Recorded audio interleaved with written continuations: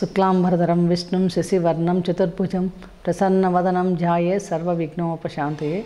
అగజానన పద్మార్కం గజానన మహర్నిజం అనేకదంతం భక్తానం ఏకదంతముపాస్మహే శ్రీ గురుభ్యో నమ శ్రీ మహాగణాధిపతే నమ. శుభం టీవీ ప్రేక్షకు నమస్కారం. మీ డాక్టర్ సుందరి ప్రేక్ష. ఈరోజు మనం సహజంగా అందరూ కనే కళలు.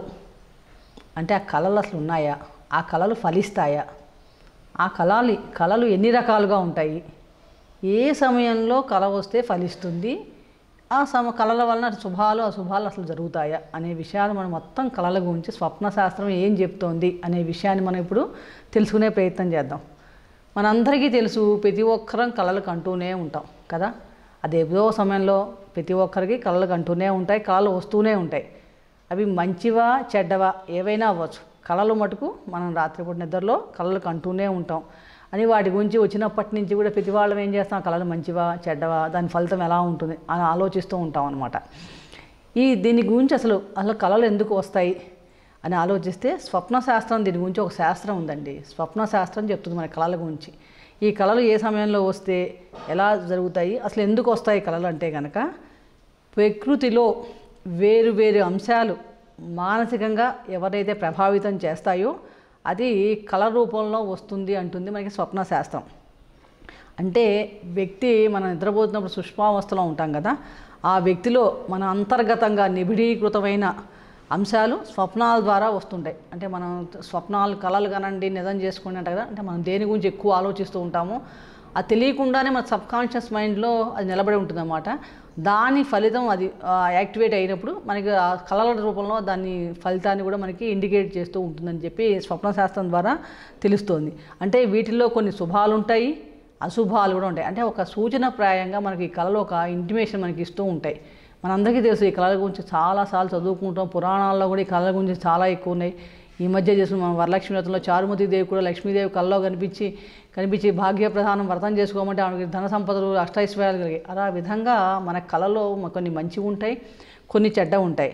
అసలు కళలు ఎన్ని రకాలుగా ఉంటాయి అని చూస్తే కనుక ఈ కళలు మనకి చూసినవి కళ్ళలో వస్తాయి. అంటే మనం ఎప్పుడో చూసుంటాం మన మైండ్లో అది ప్రింట్ అయిపోయినట్టుగా ఉంటుంది సబ్స్కాన్షియస్ మైండ్లో. అది కూడా కళ్ళలో వస్తూ ఉంటుంది. కొన్ని వింటూ ఉంటాం ఆ విన్నవి కూడా కళ్ళలో వస్తుంటాయి. ఒక్కోసారి మనం అనుభవిస్తాం. ఆ అనుభవించిన కూడా కల్లో వస్తుంటాయి. అంటే అదే కాకుండా మనకి ఏమైనా తీరాని కోరికలు ఉంటాయి నిగూఢంగా ఉంటాయి. అవి కోరికలు మనకు మనకు కూడా తెలియదు. అటువంటి కోరిక మనకు ఉన్నదని. అలాంటి కోరికలు కూడా కళల రూపంలో వస్తూ ఉంటాయి అన్నమాట అంటే ఇలా రకరకాలుగా మనం భావించినవి వస్తాయి విన్న వస్తాయి చూసినవి వస్తాయి. ఇలా రకరకాల కళలు కూడా మనకు వస్తూ ఉంటాయి. ఒక్కోసారి దోషాలు కూడా కళల రూపంలో వస్తూ ఉంటాయి. అంటే ముందుగా మనం చెప్పిన విన్నవి కన్నవి ఇలాంటి మన కోరికలు వచ్చే కళలు అవి పెద్ద ఫలం ఉండదు వాటికి. వీటిని పగటి కళ చిన్న కళ బాగా పెద్ద కళ ఈ మొదటి భాగంలో అంటే నిద్రపోగానే ఒకసారి మనకు కళ వస్తుంటుంది కదా అవి కూడా ఎక్కువగా ఫలితం పెద్ద ఎక్కువ అనమాట అవి తక్కువ ఫలితం కలిగి ఉంటాయి. అంటే ఒకవేళ కళ వచ్చాక మరల నిద్ర పట్టకుండా ఉంటే కనుక అప్పుడు ఆ కళ తొందరగా ఫలిస్తుంది అని చెప్తుంది స్వప్న శాస్త్రం అంటే ఒకసారి మన కళ వచ్చాక మంచి గాఢ నిద్రలో ఉన్నప్పుడు వస్తాయి చూసారా? మధ్యరాత్రిలో మనకి తెలియదు నిజంగా జరిగిందా అన్నట్టుగా మనం భ్రమ కలుగుతూ ఉంటుంది ఒక్కోసారి. అట్లాంటి వచ్చిన కళలు వచ్చిన తర్వాత మనకి మెలకు వచ్చాక మళ్ళీ నిద్రపోకుండా ఉంటే కనుక అది శుభమైన అశుభమైనా కూడా ఆ కళ తప్పకుండా జరుగుతుందని చెప్పి మనకి స్వప్న శాస్త్రం చెప్తోంది. అసలు ఏ సమయంలో కళ వస్తే ఫలితం ఏం జరుగుతుంది అని చూస్తే కనుక మనకి ఫస్ట్ నిద్రపో అంటే మొదటి జాము జాములు అంటాం కదా రాత్రిపూట నిద్రపోయే సమయాన్ని. మొదటి జాములో కనుక కళ వస్తే కనుక ఆ కళ ఒక సంవత్సరం లోపల ఆ కళ మనకి ఫలితాన్ని ఎక్కువగా ఇస్తుంటుంది. అదే రెండో జాములో కళ వస్తే ఎనిమిది నెలల్లో ఫలితం కలుగుతుంది. అంటే మనకు వచ్చే సమయాన్ని బట్టి కూడా ఆ కళ ఎన్ని రోజుల్లో ఫలితం కలుగుతుంది అనే విషయం కూడా మనకి ఇక్కడ తెలుస్తోంది. అంటే మొదటి జాములో వస్తే ఒక సంవత్సరం లోపల దాని ఫలితం మనకు కనపడుతుంది.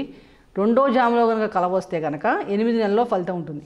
అదే మూడో జాములో కనుక కళ వస్తే కనుక ఎవరికైనా మూడు నెలల్లో దాని ఫలితం కనిపిస్తుంది అన్నమాట నాలుగో జాముల అంటే తెల్లవారుజామున కల వస్తే కనుక అది ఒక నెలలోపే మనకి ఫలం చూపిస్తుంది. అదే కాకుండా సూర్యోదయం అవుతున్న సమయం అంటే ముందు ఉంటుంది కదా ఐదున్నర ఐదున్నర లోపల. ఐదు ఐదున్నర మధ్య లోపల ఎవరైనా కలగంటే కనుక ఆ కళ మటుకు మనకి ఎంబడే పది రోజుల్లోనే దాని ఫలితం ఉంటుంది. దానివల్ల ఆరోగ్యం కూడా కలుగుతుందని చెప్తున్నాను అనమాట అదేవిధంగా కొంతమంది అంటే గోవుల్ని విడిచే సమయం అంటారు. గో ఆ సమయంలో కలవస్తే కనుక అది వెంటనే ఫలిస్తుంది. ఒక్కొక్కసారి ఒకే కళ రిపీట్గా మూడు సార్లు వస్తూ ఉంటుంది. అలా అంటే ఎక్కువ సార్లు వస్తుంటుంది మినిమం మూడు సార్లు కనుక వస్తే కనుక అది తప్పకుండా జరుగుతుంది అని మనకి కళల గురించి మనకి స్వప్న శాస్త్రంలో చెప్పబడింది. అంటే ఇలాగ కళలు అనేవి రకరకాలుగా ఉంటాయి. అవి ఏ జాములో వస్తే మనం ఏ కళ ఫలితం జరుగుతుందని మనం తెలుసుకున్నాం ముఖ్యంగా తెల్లవారుజామున వచ్చిన కళలు తొందరగా ఫలిస్తాయి అని చెప్పి మనకి దీని ద్వారా తెలుస్తోంది. ఒకవేళ ఎవరికైనా చెడ్డ కళ వస్తే కనుక అది ఎంబడే కనుక ఎవరికి మనం చెప్పకూడదు. మనకి ఎప్పుడైనా ఒక చెడ్డకల వచ్చిందనుకోండి ఆ చెడ్డకల వస్తే కనుక ఎంబడే చెప్పేయకూడదు అనమాట ఆ అశుభం దోష నివారణ కోసం కనుక ఏం చేయాలి అంటే మనకు కళ వచ్చిన తర్వాత పొద్దున్నే నిద్రలేచి స్నానం చేసి వీలైతే కనుక ఇనుముని కానీ శక్తి ఉన్నవాళ్ళు బంగారాన్ని కానీ దానం చేయాలి ఫస్ట్. అంటే కళ తీవ్రతను బట్టి చెడ్డ కళ ఎలా వస్తుంది దాన్ని బట్టి. తర్వాత దేవతా సంబంధమైన స్తోత్రాల్ని మనం పఠించాలి. అదేవిధంగా రామాయణంలో త్రిజటా స్వప్నం అని చెప్పబడింది. ఆ త్రిజటా స్వప్నాన్ని చక్కగా చదవటం కానీ వినటం కానీ లేదా గజేంద్ర మోక్షాన్ని శ్రవణం చేసినా కూడా ఆ ఎటువంటి దుస్వప్న ఫలితాలు ఉన్నా కూడా తొలగిపోతాయి. అంటే ఒకవేళ చెడ్డ కళ వచ్చిందంటే మనం ఎంబడే ఏం భయపడిపోవడం అవసరం లేదు. దానికి ఏం చేయాలంటే ఎంబడే మనం పొద్దున్నే చక్కగా నిద్రలేచి స్నానం చేసి ఈ త్రిజటా స్వప్నాన్ని కానీ రామాయణ అంతర్గతంగానే త్రిజటా స్వప్నాన్ని తలుచుకోవడం కానీ లేకపోతే గజేంద్ర మోక్షాన్ని చక్కగా తలుచుకోవడం కానీ ఇలా చేసి ఆ గణపతి కనుక గరిగితో సమర్పించినా కూడా ఆ దుస్వప్న దోషం తొలగిపోతే మనకి ఎటువంటి ప్రాబ్లం ఉండదన్నమాట. అంటే పరాశర మహర్షి చెప్తారు పరాశర సంహితలో ఇలాంటి దుస్వప్నాలు వస్తే కనుక వీళ్ళు ఏం చేయాలంటే మంత్ర జపం చేయడం అంటే మరీ సీరియస్గా పెద్ద అఘాతాలు లాంటి దుస్వప్నం కనుక వస్తే కనుక వేదవేత్తల్ని కానీ అగ్నిని పూజించంటే హోమంలాగా చేయటం కానీ మంత్ర జపం చేయటం తిలలు అంటే గో అంటే మన నువ్వులు అంటాం కదా నువ్వులు అన్నం ఈ గోదానం హిరణ్యదానం అంటే బంగారం. దానం చేయడం వంటి చేస్తే కనుక ఈ దుస్ దుస్వప్న దోషం తొలుగుతుంది.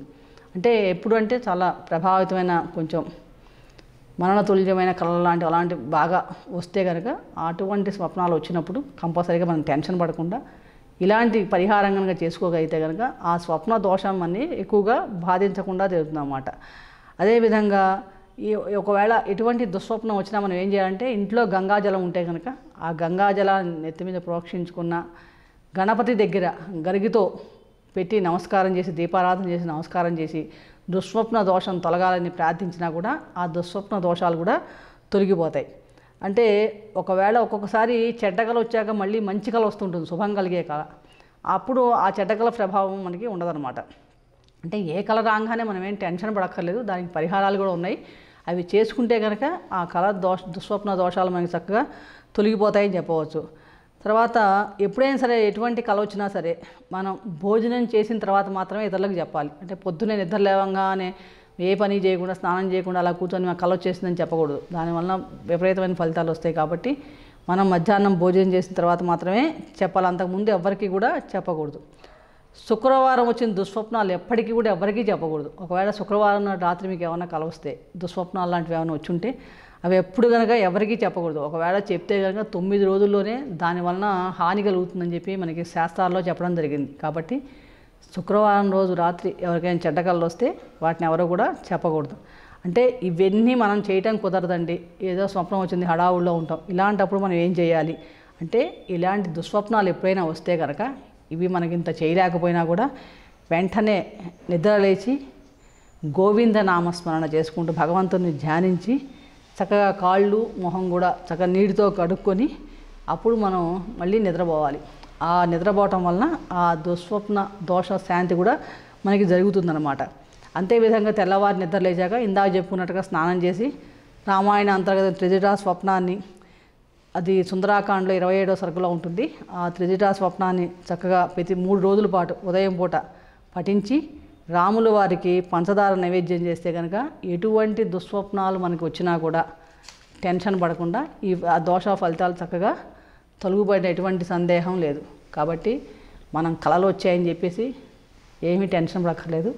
మంచి కళలు ఉంటాయి చెడ్డ కళలు ఉంటాయి. ఎటువంటి కళలైనా కూడా మధ్యాహ్నం భోజనం అయితే కానీ చెప్పకూడదు. చక్కగా మనం ఆ దోష నివారణ కూడా చక్కగా ఇంట్లోనే మనం శాంతి పరిహారాలు చేసుకుంటే కనుక దుస్వప్నాలు కూడా చక్కగా మనకి ఫలితం ఇవ్వకుండా ఉంటాయి. చక్కగా ఏ సమయంలో వచ్చిన కళ తెలుసుకొని దాని ప్రకారం టెన్షన్ లేకుండా కళలు కనండి. ఆనందం అనుభవించండి.